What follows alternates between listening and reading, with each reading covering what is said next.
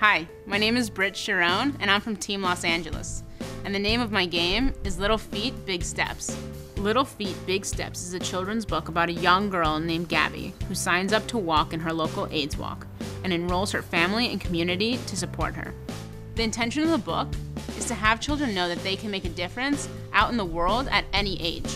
My team consisted of editors, illustrators, and publishers who worked together to produce this beautiful book. Since its release, it's been recognized by the One Campaign, a global nonprofit organization funded by Bill Gates and promoted by Bono, as one of the top six books to turn young readers into activists.